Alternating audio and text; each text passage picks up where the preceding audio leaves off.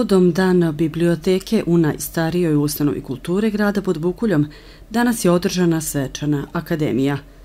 Predsednik opštine Aranđelovac Bojan Radović ovom prilikom istakao da će lokalna samouprava nastaviti ulaganje u Aranđelovačke ustanove kulture.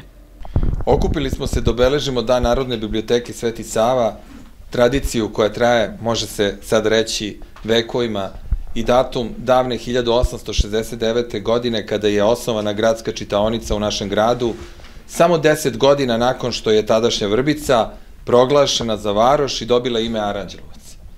Sećamo se Pante Lunjevice, oca Drage Mašin, čoveka koji je u to vreme bio sredski načelnik u Aranđelovcu i najzaslužniji za otvaranje prve čitaonice u našem gradu. Zanimljiv podatak je da se odmah po osnivanju u čitaonicu učlanilo 55 članova koji su dali prilog 40 dukata. Eto, danas, toliko godina kasnije, pisana reč i dalje traje. Živa je. Ne da se pokoriti savremenim tokovima i modernim tehnologijama. Knjiga je bila i ostaće aktivni saučesnik čovekovog života. Lokalna samouprava u prethodnom periodu pomogla je otvaranju dečijeg odeljenja Panta Lunjevica 2017. godine, a tad je rekonstruisan i galerijski deo gde je premeštena čitaonica. Trenutno Narodna biblioteka posjeduje više od 80.000 naslova, broj više od 1200 aktivnih članova sa željom da povećamo te brojke, imamo savremeni sistem za online pretraživanje knjiga, bar kodove prilikom zaduživanja i razduživanja knjiga i u tome ne zaostajemo za drugim bibliotekama u Srbiji. Svakako da u planu imamo proširenje prostorija. Želimo da uredimo prilaz biblioteci, da sredimo izloge, a veoma bitna stavka i naša zajednička želja je da se otvori kutak za slabovide, da se nabave specijalizovana izdanja knjiga i prateća audio oprema. To su želje. Opština Aranđevac mnogo je pomogla ustanovama kultura u našem gradu i snažno ćemo se zalagati da nastavimo ulaganje u ove veoma važne grane i oblasti društvenog života koje kultura svakako predvodi.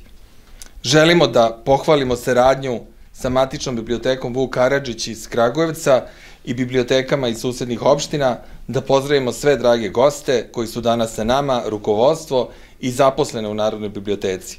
Da vam poželimo još lepše i uspešnije godine. Hvala i srećan dan Narodne biblioteke Sveti Sava.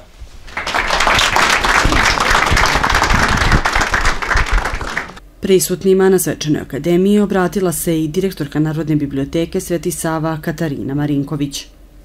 Dragi prijatelji Narodne biblioteke, drage kolege, u prethodne dve godine Narodna biblioteka prošla je kroz težak period.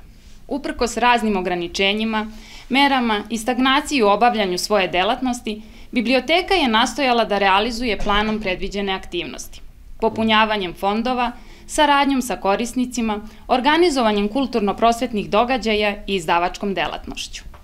Iako sam u biblioteku došla krajem prethodne godine, znam da moje kolege nisu imale lag zadatak. Tako je u 2022. godini, zajedno sa ogrankom u Darosavi, Narodna biblioteka nabavila preko 2000 knjiga. Usluge naše biblioteke koristilo je oko 1250 korisnika, od toga najviše đaci osnovnih škola i zaposleni. Zabeleženo je oko 16.000 poseta i izdato, izdato preko 20.000 knjiga. Pored značajnih datuma i manifestacija kao što su mesec knjige i opštinsko takmičenje u recitovanju, prethodnu godinu obeležili su i pojedini književni susreti. Ovom prilikom izdvojit ću samo par.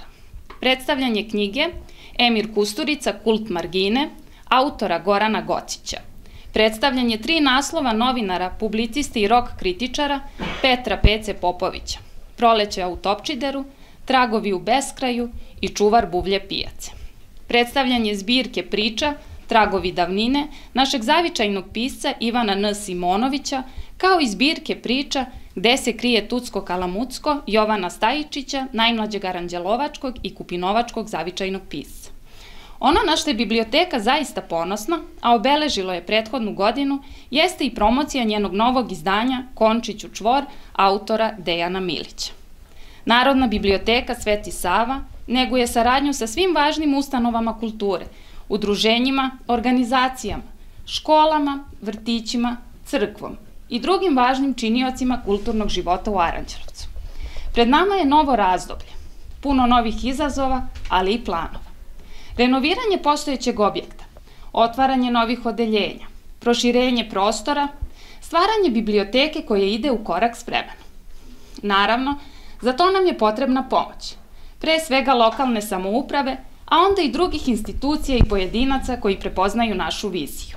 Narodna biblioteka jeste najstarija kulturna ustanova u našem gradu, ali pored toga meni, a verujem i mojim kolegama, stalo je da učinimo sve da naša biblioteka ostane jedna i od najvažnijih i najznačajnijih kulturnih ustanova. Uprkos digitalizaciji, novim komunikacijonim tehnologijama, brzom načinu života i svim uzrocima koji čine da slobodno vreme ne provodimo uz dobru knjigu i posećujemo biblioteku, ovo danas šalje drugačiju sliku i govori nešto drugo. Zaista mi je puno srce kada vas vidim ovde u našoj čitaonici da ste uspeli da izdvojite malo vremena i tim gestom pokazali da vam je stalo da ova ustanova živi. Hvala vam. Već tradicionalno na dan biblioteke uručene su nagrade najboljim učesnicima literarnog konkursa Mesec knjige 2022. Kod učenika nižih razreda nagrađeni su David Nikolić, Irina Vujanović i Andreja Lazarević, koja je najlepše pisala na temu Iza sedam gora, iza sedam mora ima jedna biblioteka.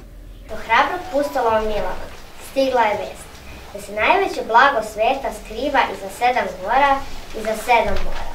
Odlučio je da zaplovi i uveri se. Krenuo je na put. Prvog dana plovio je bez odmora i naišao na džinovskog oktopoda i jato delfina koje je plivalo pored njega. U tom je ugledao brod da pučini. Učinilo mu se da je napušten. Međutim, kada se približio, video je svog dugogodišnjeg prijatelja Luku. On mu je rekao da traga za najvećim blagom svetu. Luka i Milan se dogovoriše da svoje putovanje zajedno nastave. Plovili su dugo i naišli na pusto ostrvo. Iskrcali su se. Pronašli su pećinu. Odlučili su da baš u njoj potraže blago. Kada su ušli na njihovo iznenađenje, našli su skrivenu i napuštenu biblioteku. Koliko te inspirisala ova tema? Pa, bilo je zanimljivo.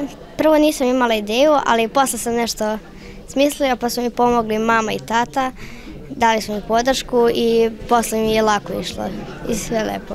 Bitno je samo, samo krenuti. A kaži mi Da. koliko ti znači uh, ova nagrada? Pa, mnogo mi znači. Ovo mi je prva nagrada koju sam osvojila.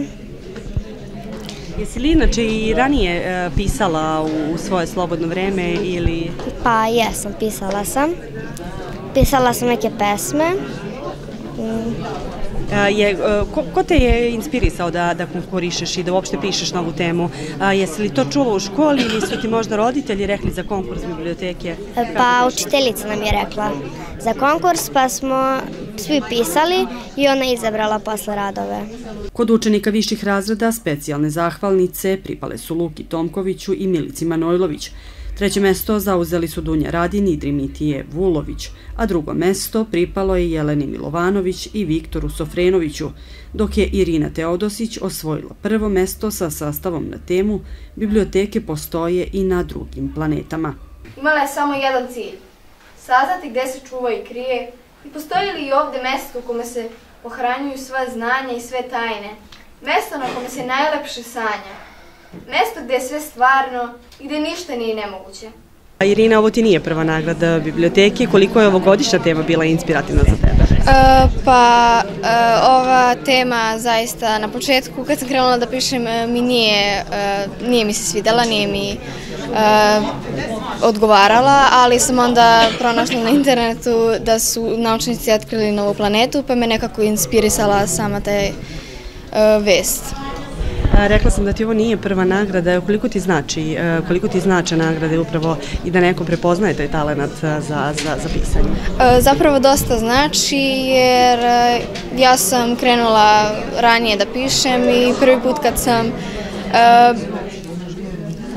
pisala za ovaj konkurs, e, bilo mi je stresno i nadala sam se da ću uspeti u tom nekom svom e, snu, kako da kažem, e, u pisanju. Zbog čega treba da, da čitamo knjige? Šta bi rekla i, neki, nekim e, ljudima iz svoje generacije? E, Pa knjige kao prvo su izvor znanja i e, uvek možete naći neku inspiraciju i nešto novo u knjigama što niste saznali. i bogatite svoj rečnik svakako i najpre uživate u zanimljivim događajima iz knjiga. Na temu biblioteka je beskrajni plavi krug i u njemu zvezda kod učenika srednjih škola nagrađeni su Vasilija Pantelić, Iva Jovanović i Jana Prekić. Neonsko svetlo baca plavičastu svetlost na police prepune knjiga. Kao magnetom privučena ruka mi pada na knjigu. Ispucali korica. Otvaram, pažljivo čitam. Beskrajni plavi krug i u njemu zvezda. Seobe. Brzo, e, brzo prelazim očima po slovima rasutim po papiru. Vuk Isaković. Evo nas opet. Vreme je da se upoznamo. Sreli smo se opet, iznenada, ovde u beskraju knjiga. Ja sam htela da povežem e, to tadašnje vrijeme koje je opisano u tom delu sa sadašnjim vremenom, tako sam i napisala svoj sastav. Mislim, to mi je bila glavna, glavni cilj. Jel inače ovako u slobodno vrijeme e, pišeš koliko čitaš? Pa volim da pišem pesme, a i volim da čitam. Baš volim da čitam. Trenutno čitam e, knjigu e, Majstor i Margarita. Da li si sada prvi put konkurisala ili a, si učestvovala i na nekim prethodnim konkursima? Ovo je već tradicionalni konkurs. Nije, išla sam već na par konkursa i stalno šaljem pesme, sastave na konkurse, a učestvovala sam i u odabiru na najlepše srpske reči i tu sam e, i napisala sam praskozore, mislim, to je i bila. Koliko je za, i za pisanje upravo bitno to da se, da se čita i da se na taj način razvija i jezik i, i a, upravo da se obogaćuje fond reči? Pa, verujem da je bitno, jer, jer e, širiš vokabular sebi. I ove godine posebne nagrade i zahvalnice dobili su najaktivniji čitaoci tokom 2022. godine, kao i brojni saradnici Narodne biblioteke Sveti Sava.